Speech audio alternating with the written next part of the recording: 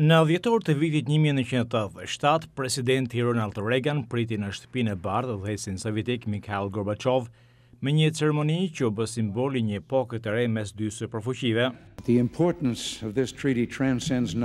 Rëndësia e këtij traktati i tejkalon shifrat.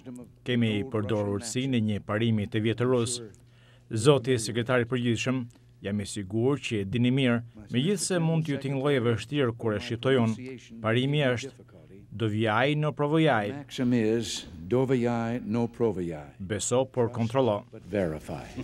Por disa ekspertë të politikave të jashtme dhe mospërhapjes së armëve bërthamore druhen se braktisja e traktatit mund të çojë drejt një faze të re më pak të sigurt. Ideja që tani Shtetet e Bashkuara do të fillojnë të prodhojnë armë të reja për të frenuar Rusinë në këtë mënyrë është vërtet destabilizuese.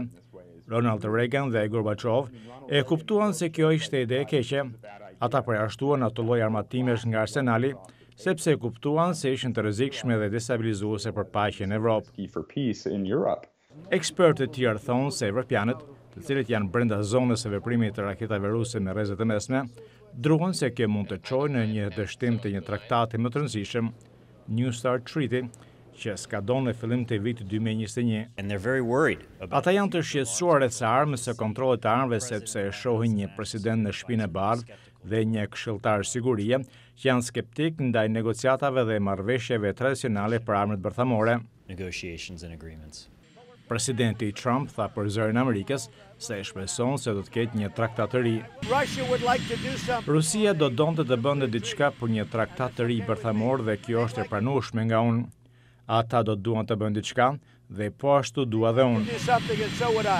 Por edhe sekretari i Përgjithshëm i Kombeve të Bashkuara shprehu shqetësim.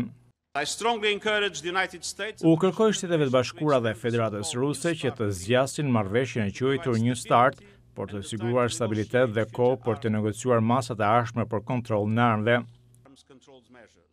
Presidenti rus, Vladimir Putin, nënshkroi një muaj më parë ligjin për pezullimin e pjesëmarrjes së vendit të tij në traktatin INF, pesë muaj pasi administrata e Presidentit Trump njoftoi synimet e saj për të dalë nga pakti.